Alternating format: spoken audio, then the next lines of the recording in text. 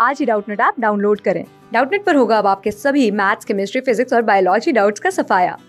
बस अपने क्वेश्चन की फ़ोटो खींचो, उसे क्रॉप करो और तुरंत वीडियो सोल्यूशन पाओ। Download now. हेलो दोस्तों, हमें यहाँ पे एक क्वेश्चन दे रखा है। निम्नलिखित प्रश्न में एक अनुक्रम दिया गया है, जिसमें एक आकृति लुप्त है।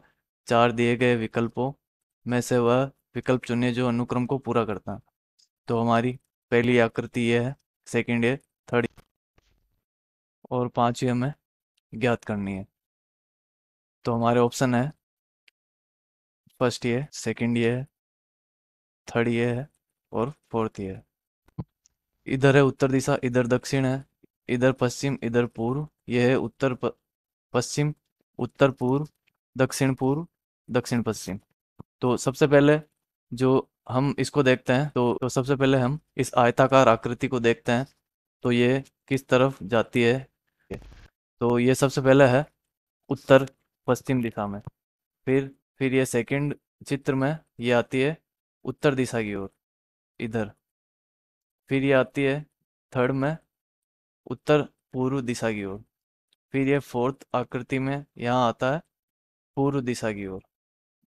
और उस, इसका सेकंड जो पार्ट है वो इसके जस्ट 180 डिग्री पे है। तो ये आती है फोर्थ इमेज में पूर्व दिशा की ओर। तो अगली इमेज में ये आएगा दक्षिण पूर्व में। पूर्व में आता है, फिर ये आएगा दक्षिण पूर्व। ये दक्षिण पूर्व में आ गया। और इसके 180 डिग्री पे ये दूसरा वाला आ गया। फिर हम तीर को देखते हैं। तो तो हम सेकंड वाली आकृति को देखते हैं। ये सबसे पहले उत्तर दिशा की ओर है। फिर ये आया उत्तर पूर्व दिशा में, फिर ये आया पूर्व दिशा में, और फिर ये आया दक्षिण पूर्व दिशा में। तो अब पांचवी आकृति में यह आएगा दक्षिण दिशा में। तो ये दक्षिण दिशा में हम बना लेते हैं, और इसके भी ये 180 डिग्री पे दूसरा तीर का निशान है। तो 180 डिग्री पे हम दूसरा तीर का निशान कर देते हैं।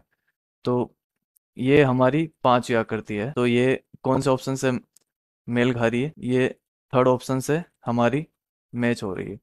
तो हमारा आंसर हो जाएगा option number third thank you class six से ट्वेल्थ से लेके NEET I I T JEE mains और एडवांस के लेवल तक। दस मिलियन से ज़्यादा स्टूडेंट्स का भरोसा। आज ही डाउनलोड करें डाउट नेट आप या व्हाट्सअप कीजिए अपने डाउट्स आठ चार सौ चार सौ चार सौ पर।